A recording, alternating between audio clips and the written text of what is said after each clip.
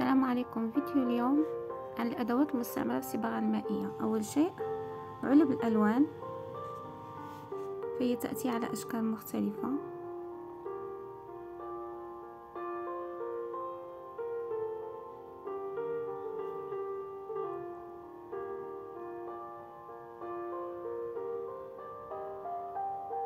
ألوانها متعددة بدرجات مختلفة وتركيز عالي. تضم أيضا بعض الألوان المعدنية هذه المنطقة مخصصة لدمج الألوان. يعني ملونة باليت.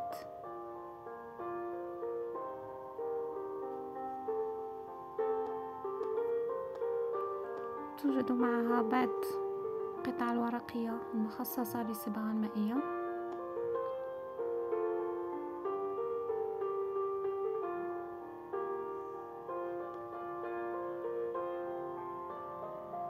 وورقة لتجربة الألوان.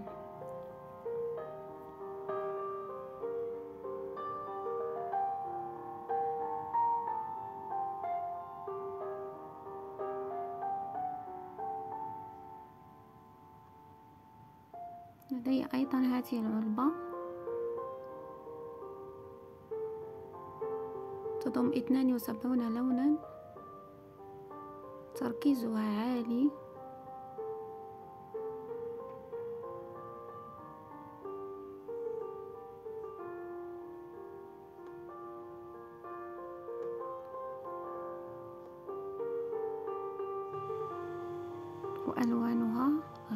جدا.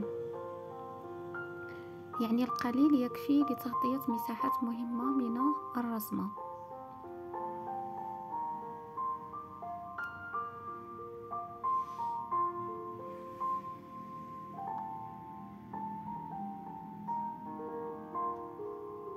تضم أيضا ألوان معدنية. يأتي مع تأتي مع هذه الفرشاة قلم. يعني يعبأ بالماء.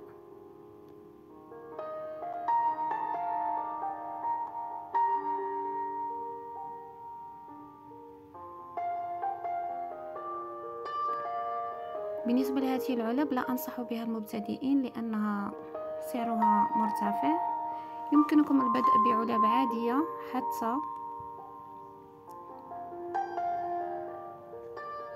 إلى حين تطوير أدائكم. الفرش تأتي بأحجام مختلفة.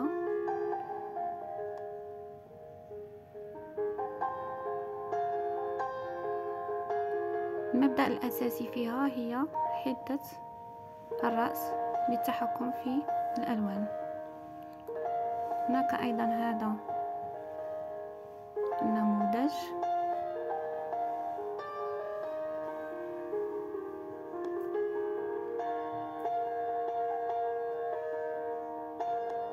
نفس المبدأ.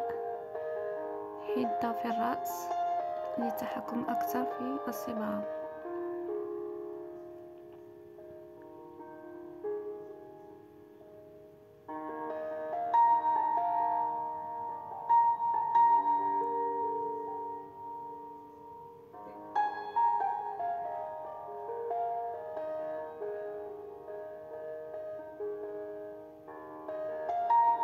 الفرش الكبيرة لتغطية المساحات الكبيرة في الرسمة. والصغيرة طبعا للتفاصيل الصغيرة.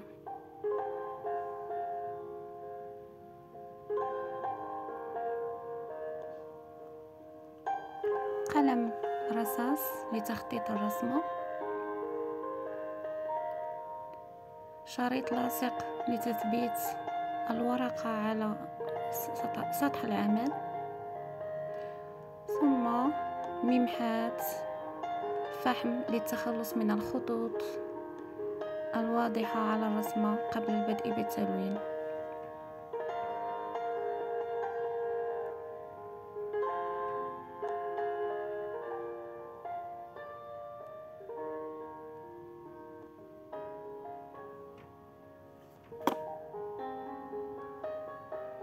الأوراق المستعملة في الصباغة المائية فهي خاصة جدا.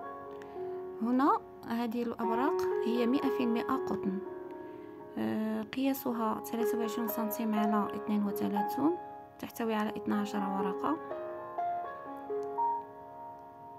سميكة جدا كي تستقبل أكبر كمية من الماء المستعمل عليها خلال الرسم فهي سميكة